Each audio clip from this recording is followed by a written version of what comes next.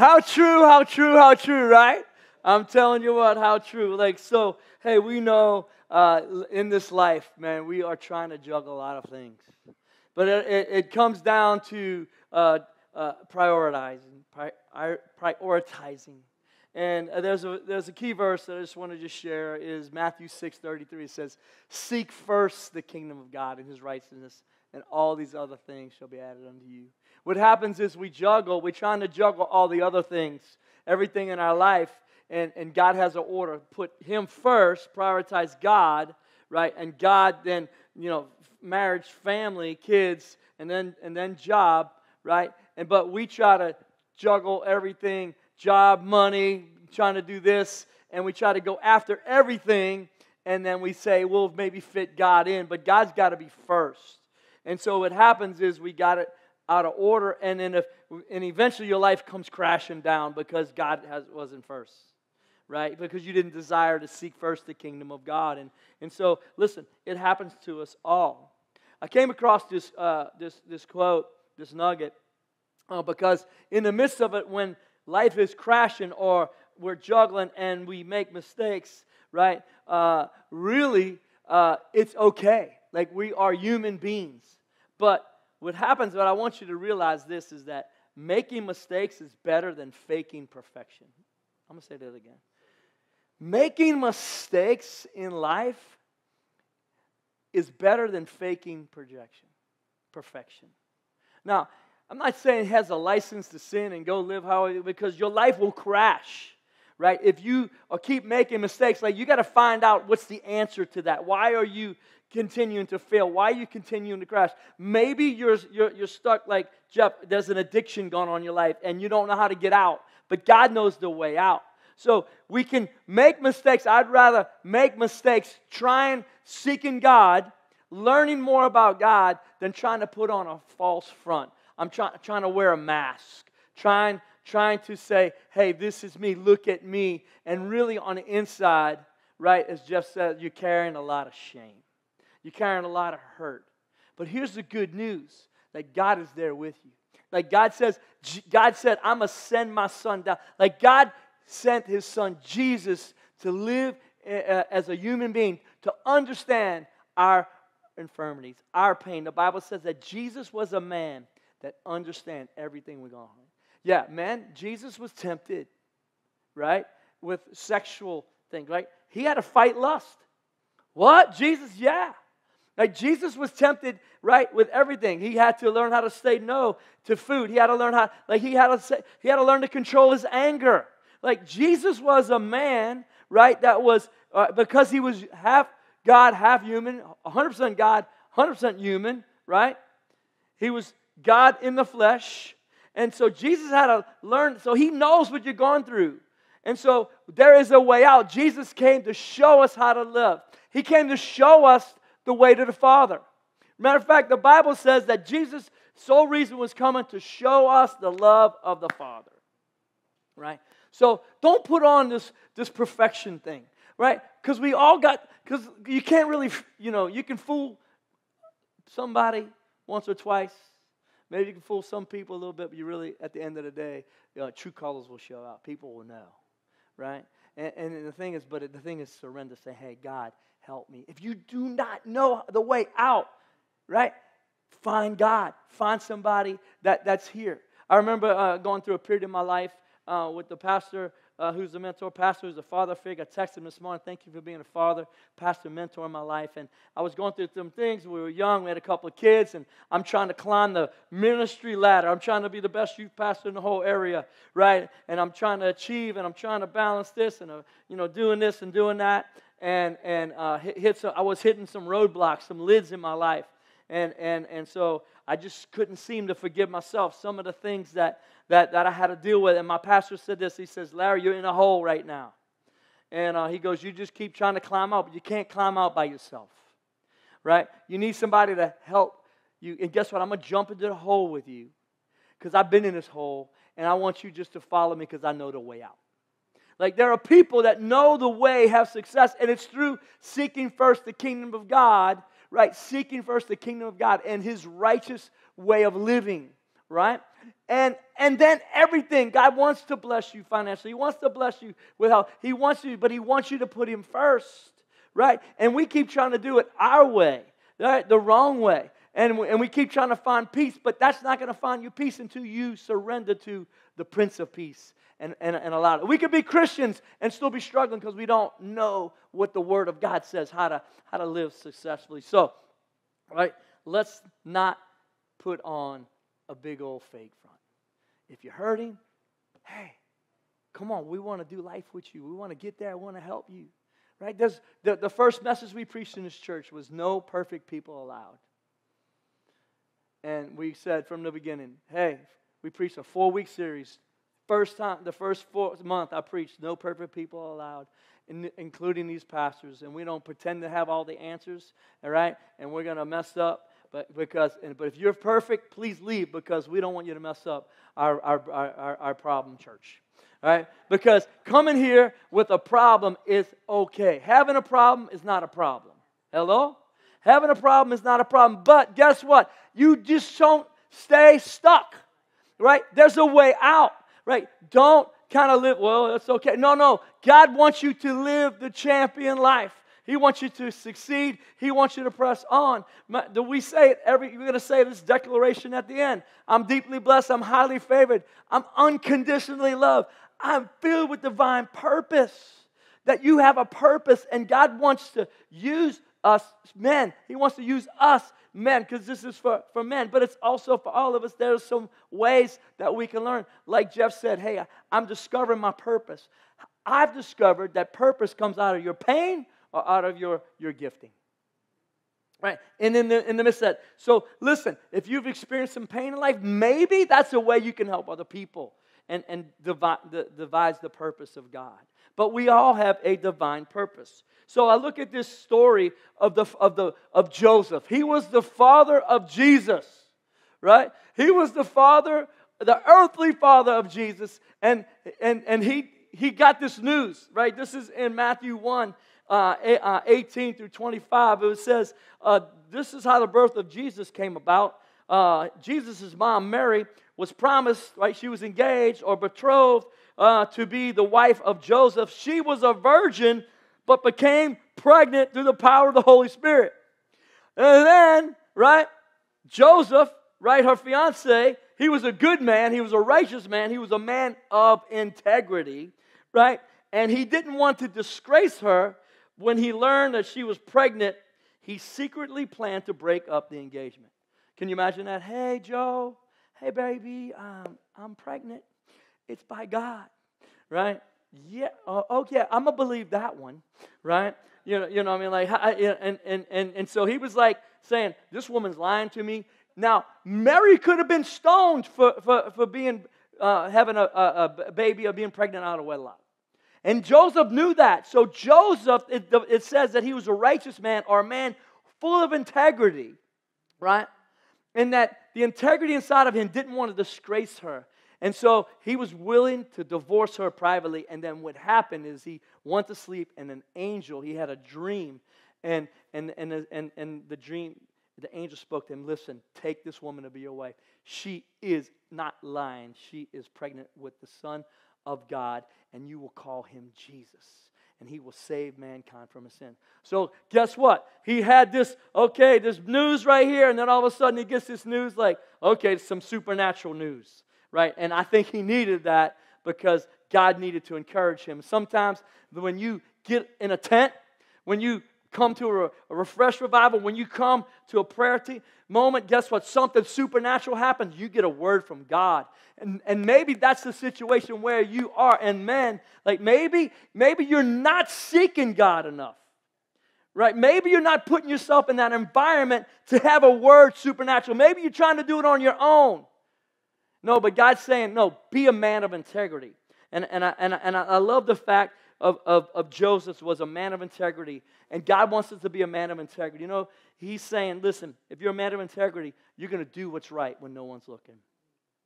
You're going to do what's right when no one, it's, it's character. Not only was Joseph a man of integrity, but he was a man of mercy. Right? Guys, you know what? I deal, we all deal with anger. We all, we all are impatient. We all deal with pride.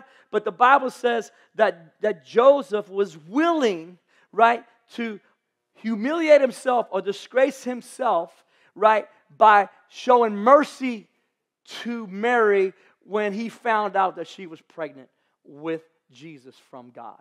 He, can you imagine the shame, right? Can you imagine the, the talks? Can you imagine that? And they had a word from God. Sometimes you got to realize that you stand up for God, like people might not understand why are you so on fire for God.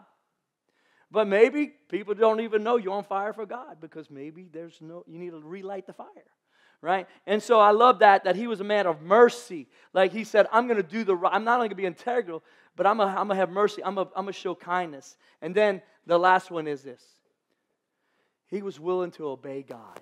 What does that mean? He was willing to say, okay, God, I'm going to take this woman, I'm going to raise this kid as my quote unquote stepson. I'm adopt him for, for, for, for the purpose and the call that you have on his life, and I'm going to love this woman, and I'm going to train him up. And so what? He will he obeyed the call of God on his life. So, man, what about us? What can we learn from Joseph today? What's some lessons today? Here's just some practical lessons that I that I see in the life of Joseph, right? And number one is integrity always matters. Integrity always matters. Integrity is simply doing what you promised you would do. Integrity is doing what you promised. You. Integrity is being who you are when no one's looking, right? Integrity is accepting blame when you made a mistake. Integrity is doing is integrity is keeping your word. Do you know, men and women, we are a society we don't keep our word anymore. We don't keep our word anymore. Like our word means nothing. When the Bible says that in, in, in, in the Psalms that we should keep our word even if it hurts. If you say you're going to do something, then you need to follow through with it, or you better, you better explain yourself and, and, and humble yourself and not just say, oh, I forgot, or make some lie. Right? That's not integrity to lie because you didn't keep your word or something else better came up. That happens in our society. It's happened like the lies in our government, the lies in this. I mean, in the people, the lies in the church. That's not integrity. Men, we need to kind of step up and, and, and watch what we do that. Right? Another thing is that men need to learn, and Joseph realized this that Joseph was a very successful craftsman. He wasn't quote unquote a carpenter, he was a stonemason, right? Because they didn't have a lot of wood in Israel. They don't have a lot of wood. They built, they built uh, uh, homes with stone and brick right? There's lots of uh, situations there. Jesus was actually, it's really, but we call, he was called a carpenter, and they did some woodwork, but they did more stonework, because that's why he's called the chief cornerstone. I can't go into all of that, but Jesus was trained by Joseph to, be, and he was called the chief cornerstone, right? Jesus wants to build your house brick by brick. And so Joseph really had, he had, he was very wealthy. You, I, I can't explain that all right for a, uh, sake of time, because his parents were actually in charge of, let's just say, uh, like in Washington, D.C., we have the, we have the building of uh, archives. His parents were over, right, the archives of all of the country. All right, can't go into that. Just trust me there. We can talk about it later if that interests you. Joseph realized that money won't fix everything. He's going to trust God. He's going to get on his horse and that donkey and he's going to go. And guess what? Man, we need to know that money won't fix it. Why are you chasing more money when you should be chasing the pursuit and the plan of God? Because when you put God first, He will add all these things to your life. But we try to say, money, money, we need it, we need it, we need a, a 401k. Guess what? You know what could happen? In, in a, uh, if if, if the, the same administration or administration, whatever administration wants to come in, all of our, uh, uh, what's happening right now, I know, my, I know what's happening in my investments. Right now, it's tanking. Well, I'm not to put my money and my, my faith in my investments. All right? You know what I'm saying? We don't know what's going to happen. But guess what? God will never tank because He's Jehovah Jireh. He's my provider no matter what happens. So we don't put your faith in money. Third thing is, man, learn to laugh at yourself. Come on, guys, learn to laugh. Don't take yourself so seriously. Right? Laugh at yourself. I say like this because I'll never run out of material. I like to tell myself. I, I laugh myself because I never run into like my daughters, right? We, you guys know Father's Day, all I want to do is just go get a Whopper, right? and like, I, Kim, you don't get to cook. Let's, Dad, you want to go to Burger King? I want a burger. I want to have it my way, right? Right? I, I, I want to have, have it my way, right? You remember the song? Have it your way. Have it your way at Burger King. Okay, anyway, right? Go back and Google that. All right, go YouTube it. And so, so it's like, hey, really? Yeah, I don't like Whoppers. Okay, so I'm on this health kick now, so we're going to Jimmy John's today. All right, we're going to Jimmy John's. I'm going to get me a big Vito, number five, man, extra with hot peppers. Woo, let's go. All right, so my kids, we, we, they, they laugh at me, I laugh at them. Because uh, guess what? Who's perfect? Hey, just own it, right? Next thing is this. Hey, guys, Joseph encouraged Jesus along the way. A little encouragement goes a long way. Hey, I, am so intense. I'm so kind of like I want everything right. I, if something doesn't go wrong at church, I'm like, oh my God, a, what, what, are people going to think? And, and, and I've learned just to chill out. I'm learning to chill out, right? And, and I'm, I'm learning to, to, to, to, not, to not pressurize everything, right? And I'm learning that, uh, and I've learned over the years just to be an encourager, like to encourage. Everybody's doing their best, right? I'm trying to do, we're all trying to do our best. Encourage, because encouragement goes a long way right? It'll, it'll go, husbands, you know, go a long way with your wives when you encourage her or thank her for stuff that she's doing today, right? Right? Same way, women, right? Don't always have to be harping on your husband. Don't have to be telling him everything he's got to do and turn here, put the blinker on, and like, did you figure that out? Like, like, okay, hey, right? Hey, it's both ways, but encouragement, encouragement, encouragement. All right, all right. That's that's another. And then last one, you got to have kingdom friends. We make each other better. It's good. I have friends that, that aren't Christians. I have, uh, I have friends that, that don't serve the Lord. But I can't make that the majority of my, my life. Maybe some of you are struggling in your faith because your friends are not kingdom friends. They're friends of, in a sense, if, they're, if, if you haven't led them to Christ, guess what? They're in the world. They're lost. Hello? And a lost person can't add value to you. You need to be a light. You need to tell your friends there's a Jesus. And so if you're trying to trying to grow in your life and you don't have Christ first, guess what? You're struggling because it's your own fault. Hello? You got to put seek first the kingdom, and that includes kingdom friends. And so you got to take advantage of what God has for you. All right? Hey, there's more into this. Listen to the first message. All right. But guys, this is where we are at the end of the day. God just wants us, every one of us, but guys, particular, to have a heart after Him. To have a heart after God. Listen to this in Acts uh, 13 22. God raised up David, like King David, the little boy. Remember the little shepherd boy who became a king?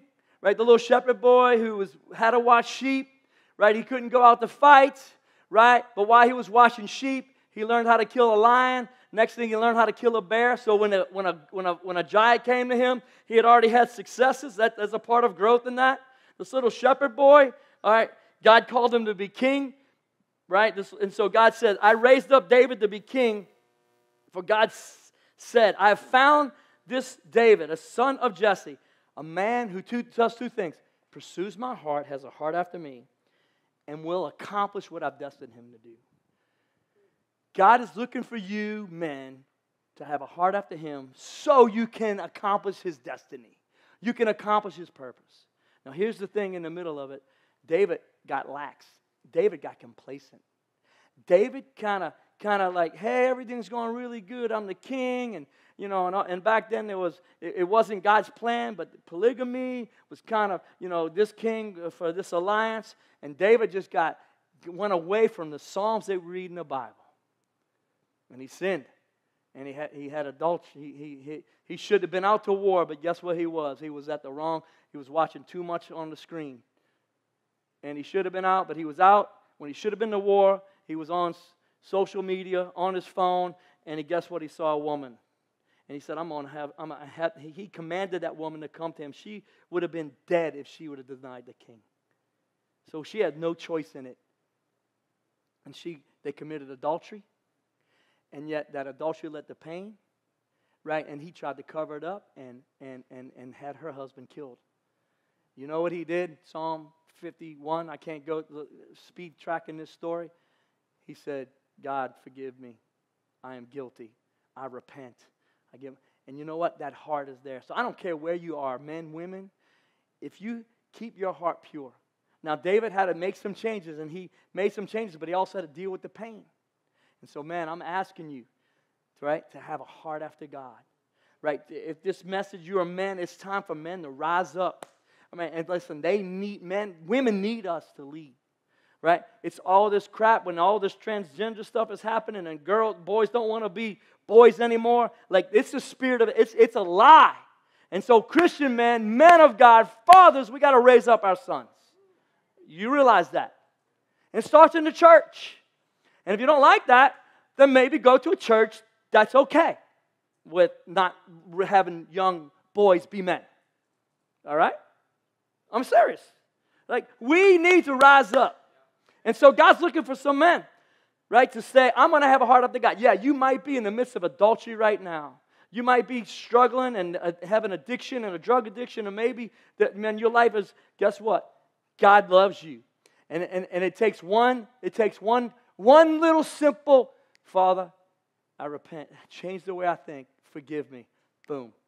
And, and God wipes it out. Now you got to deal, you got to grow, you got to you got to continue to press on. God's a good, good God. He's a good, good Father. So, man, this is what I want to do. I want, I, I want to pray for you. But if you, only if you're serious about, hey, God, I need your help. No condemnation. I just trust in, I just trust in you. Like, God, uh, listen, I did this. The past is in the past. Today's a new day. It's a new beginning. If you heard, if you were here Thursday night when I preached on new beginnings, His mercy is new to us morning by morning. And guess what? Today's Sunday, but guess what? Tomorrow's Monday. And so today doesn't have to be the same as tomorrow. And guess what? After tomorrow, Monday becomes Tuesday. And Tuesday, so listen, there's a new day every day. And a new week, and a new month, and a new year. So, man, can I pray for you? If you're saying, hey, God, here I am. I'm asking for your grace. Would you stand up with me, man? Come on, stand up. If you're saying, God, man, I'm ready. Man, women, you stay down, right? You just pray, right, man? Close your eyes, man. Lift your hands up towards heaven right now. I'm not asking you to come down. Come on, man, right now. I'm, I'm declaring a blessing over you. Father, I thank you for these men. I pray the grace of God, the anointing of God. I pray the favor of God on these men. Come on, man, say with me. Father God, I give you my whole heart. I seek first your kingdom. Lord, help me. God, I need your help. Lord, I say I'm sorry. Lord, show me the way. I repent. I change the way I think. I ask for forgiveness. Thank you for forgiving me. Give me the power of the Holy Spirit to live as the man of God that you've called me to be. Thank you for your grace. Thank you for your mercy. Thank you for your healing. I trust in you. I'm a champion. I'm an overcomer. I'm more than a conqueror because of your love for me. Come on, all you men, let's give God a big old hand clap, amen.